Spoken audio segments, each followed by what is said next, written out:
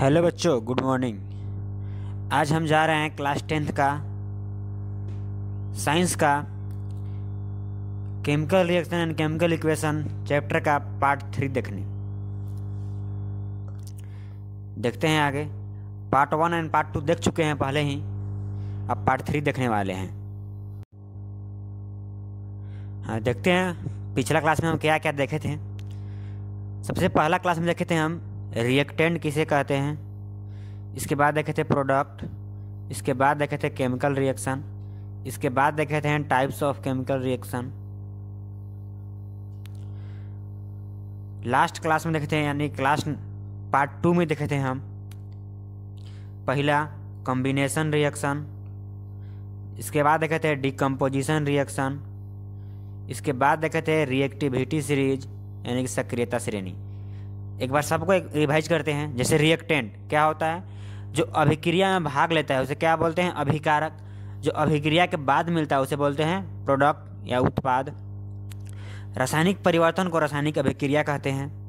Types of chemical reaction यानी रासायनिक अभिक्रिया के प्रकार उसमें पहला था कॉम्बिनेशन रिएक्शन उसको हिंदी में बोलते हैं संयोजन अभिक्रिया। संयोजन अभिक्रिया क्या था?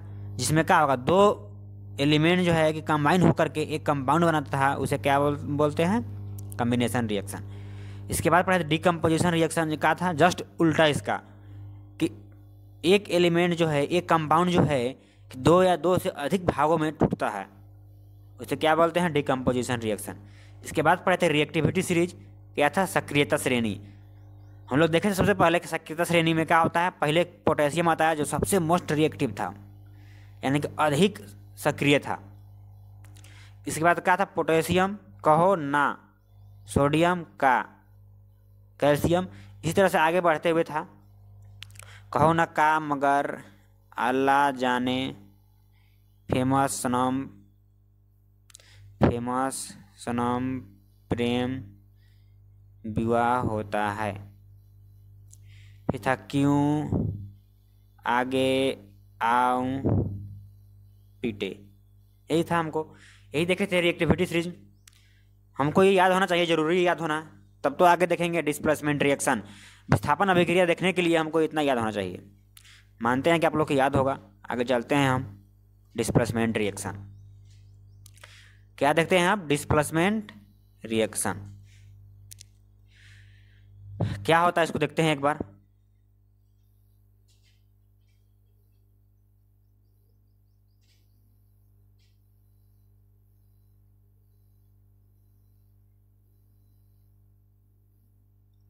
डिस्प्लेसमेंट रिएक्शन क्या है?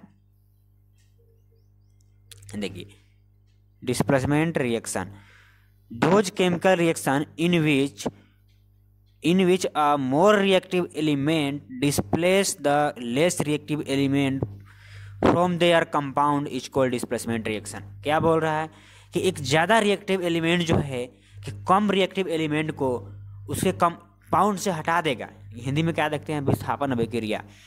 वैसी रासायनिक अभिक्रिया, जिसमें एक अधिक अभिक्रियाशील तत्व, कम अभिक्रियाशील तत्व को उसके यौगिक से हटा देता है। उसे क्या बोलते हैं? विस्थापन अभिक्रिया। जैसे देखते हैं हम कैसे हटा रहा है। जैसे में क्या है? C U S O four C U S O four इसको हम अभिक्रिया करा दिए आयरन से। तो हम देखे थे रिएक्टिविटी सीरीज़ में सक्रियता श्रेणी में कॉपर जो है कि आयरन से नीचे था। यानी कॉपर जो है कि आयरन से कम अभिक्रियाशील है। ठीक, क्या हो जाएगा? एफ़ ई जो है F E S O four बन जाएगा। आयरन का है, क्या होगा? कॉपर को वहाँ से हटा देगा। तो क्या बन गया? F E S O four तो क्या किया? आयरन जो है कि कॉपर को क्या किया? डिस्प्लेस कर दिया। यानी कि एफ़ ई जो है कि सी यू को उसके यौगिक से हटा दिया, बाहर निकाल दिया। इसे क्या बोलेंगे? डिस्प्लेसमेंट रिएक्शन और आगे देखते हैं। जैसे और आगे देखते हैं क्या है? F E S O four plus magnesium F E S O four magnesium क्या है? आयरन से जो है कि मैग्नीशियम क्या है? ऊपर है। यानी कि iron F E F E जो है मैग्नीशियम से क्या है? कम अभिक्रियाशील है। यानी क्या होगा? मैग्नीशियम जो है कि आयरन को हटा देगा। जैसे में क्या होगा? यहाँ क्या बन जाएगा? M G S O four कहे क्या किया? हटा दिया मैग्नीशियम आयरन को। और आयरन का होगा? बाहर निकल जाएगा। इसे क्या बोलेंगे? डिस्प्लेसमेंट रिएक्शन यानी कि डिस्प्लेस किया, इसको हटा दिया बाहर। और आगे देखते हैं एग्ज़ाम्पल जैसे में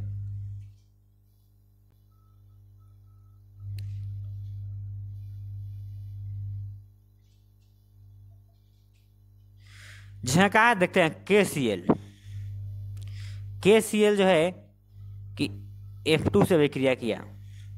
क्लोरीन जो है, क्या है? फ्लोरीन से, यानी कि सी एल जो है कि एफ़ से क्या होता है? कम अभिक्रियाशील। ये क्या होगा? इसको हटा देगा। जैसे क्या बन जाएगा यहाँ पे? एफ़ के एफ़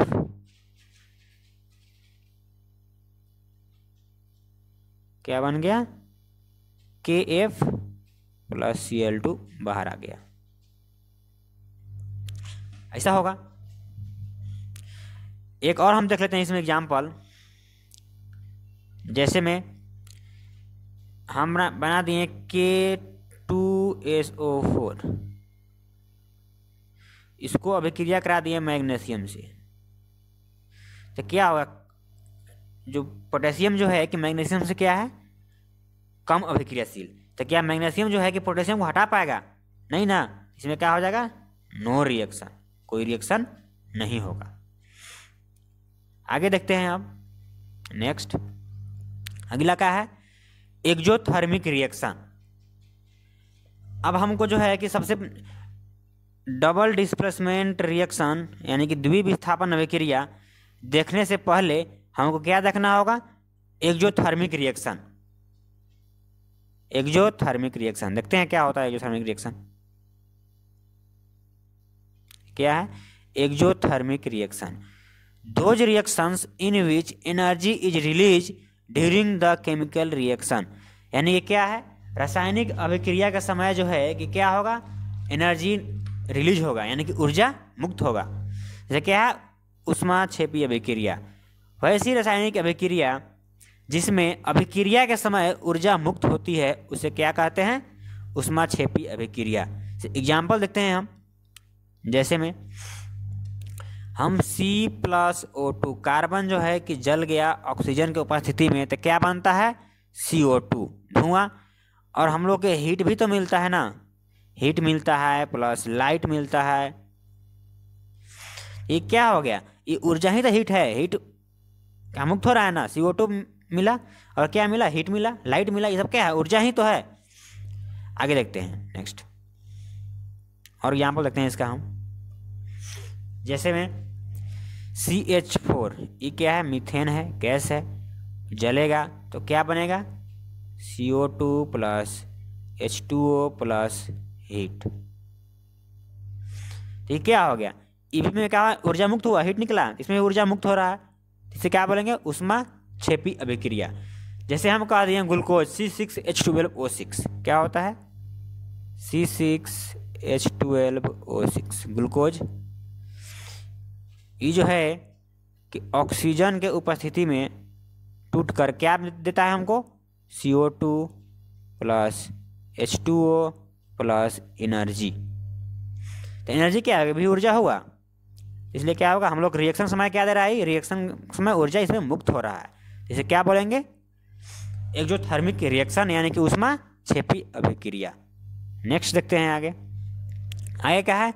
इंडोथर्मिक रिएक्शन कहने का मतलब क्या है? उष्मा शोषी अभिक्रिया। क्या होता है? देखते हैं। Endothermic reaction those chemical reactions which energy is observe during the chemical reaction यानी क्या बोल रहा है? रासायनिक अभिक्रिया के समय इसमें क्या होगा? एनर्जी को अवशोषण होगा। इसमें देखिए, उष्मा शोषी अभिक्रिया। नाम पता चल रहा है, उष्मा शोषी, यानी उष्मा लेगा। वैसा रासायनिक अभिक्रिया जिसमें अभिक्रिया का समय ऊर्जा का अवशोषण होता है, उसे क्या कहते हैं? उष्मा शोषी अभिक्रिया। जैसे इसका एग्ज़ाम्पल देखते हैं हम, क्या होता है? जैसे हम लोग देख, पढ़े, पहले से ही पढ़े हैं सी ए सी ओ थ्री सी ए सी ओ थ्री ये जो है कि इसको हीट देते हैं, तब तो टूटता है। सी ए ओ प्लस सी ओ टू में। यानी क्या हो गया, इसमें हीट देना पड़ रहा है, ऊर्जा देना पड़ रहा है। इसमें क्या होगा उष्मा शोषी अभिक्रिया। और देखते हैं इसका क्या है। जैसे कि A G B R A G B R इसको भी हीट देंगे तो क्या बन जाएगा? A G plus B R two और आगे देखते हैं क्या होगा, जैसे कि हम देख लिए क्या चीज़? एन ए सी एल इसको भी हीट देंगे तो क्या में टूटेगा N A plus C L two ये सब क्या हो गया? उष्मा शोषी अभिक्रिया। यानी कि इसको क्या कह सकते हैं हम? इंडोथर्मिक रिएक्शन अभिक्रिया के समय क्या हो रहा है? उसमें ऊर्जा हमको देना पड़ रहा है। आगे देखते हैं। एक और क्या है? रिवर्सिएबल रिएक्शन रिवर्सिएबल यानी क्या है? रिवर्सिएबल रिएक्शन यानी क्या होगा उत्कर्मणीय अभिक्रिया। Those chemical reactions which occur or take place क्या होता है? Occur or take place in both direction is called reversible reaction यानी क्या होगा? वैसी रासायनिक अभिक्रिया जो दोनों दिशाओं में होता है, उसे क्या बोलते हैं? उत्कर्मणीय अभिक्रिया। उत्कर्मणीय रिएक्शन आगे देखते हैं क्या है? इसका एग्ज़ाम्पल देखते हैं हम, उत्कर्मणीय अभिक्रिया का। जैसे में, पहला एग्ज़ाम्पल क्या है? N two plus O two यहाँ पे क्या बनाता है? एन ओ टू ये जो है कि दोनों दिशाओं में होता है। इधर से इधर से इधर भी हो सकता है, यानी कि N two plus O two मिलाकर एन ओ टू भी बन सकता है। और एन ओ टू जो है कि टूट भी सकता है N two plus O two में। क्या होगा? दोनों दिशाओं में हो रहा है। जैसे में हम देखते हैं क्या चीज़? N two plus H two क्या बनता है? N H three N two plus H two N two plus H two क्या बनता है? एन एच थ्री ये क्या होता है? दोनों दिशाओं में। इधर से इधर और इधर से भी इधर होता है। और हम देखते हैं क्या? जैसे कि A ji A G B are ये जो है कि A G plus B R two ये भी क्या होता है? दोनों दिशाओं में होता है। एक और देखते हैं जो है कि बहुत इंपॉर्टेंट है, जैसे कि C H three C O O H plus C two H five O H ये जो है कि अभिक्रिया कर क्या बनता है? C H three C O O C two H five plus H two O ये भी क्या होता है? दोनों दिशाओं में होता है। ये भी दोनों दिशाओं में होता है। इसका नाम है acetic acid. A C I T I C acetic acid. इसका नाम क्या है? ये प्लस साइन दिया हुआ है प्लस है। C two H five N O H यानी कि इसको कह सकते हैं इथेनॉल ये क्या है? इथेनॉल इसके बाद ये क्या बन गया? एक प्रकार के इथर बन गया। इसका नाम है इथाइल इथेनोवेट अब बाकी क्या बन गया? वाटर इसको याद ज़रूर रखिएगा एग्ज़ाम्पल को। नेक्स्ट रखते हैं आगे अब। अगला का है इरिवर्सिएबल रिएक्शन यानी कि अनु उत्क्रमणीय अभिक्रिया। इरिवर्सिएबल रिएक्शन क्या है? Those chemical reactions which occurs or take place in only one direction यानी क्या होगा? सिर्फ़ एक ही दिशा में होगा, दोनों दिशा में नहीं होगा। इसे क्या बोलेंगे? इरिवर्सिएबल रिएक्शन अनु उत्क्रमणीय अभिक्रिया. वैसा रासायनिक अभिक्रिया जो सिर्फ़ एक ही दिशाओं में होता है, उसे क्या बोलते हैं? अनु उत्क्रमणीय अभिक्रिया, जो कि दोनों दिशाओं में नहीं होगा ओनली एक दिशा में होगा. जैसे में सी प्लस ओ टू इसमें क्या है? C plus O two carbon जो है कि जल गया तो क्या बन गया? सी ओ टू क्या सी ओ टू वापस हो सकता है कार्बन में? नहीं. लकड़ी जलने के बाद धुआँ बन गया। धुआँ से क्या वापस लकड़ी बना सकते हैं? नहीं क्या होगा? ओनली एक दिशा में होगा। जैसे में C H four plus O two C H four plus O two भी क्या बन गया? C O two plus H two O क्या धुआँ और पानी से वापस मीथेन बना सकते हैं? नहीं, वापस नहीं बना सकते हैं। ये क्या हो गया? ओनली एक दिशा में। जैसे कि सी ए बस छोटे इतना ही देखते हैं काफ़ी हो जाएगा इतना एग्ज़ाम्पल ठीक है, आज के लिए इतना ही। इसको आप याद करके आइएगा, ज़्यादा हो जाएगा फिर। और आगे पढ़ते रहिए। इसको याद भी करना बहुत ज़रूरी है, क्या कि एग्ज़ाम में आता है सब। Thank you that's all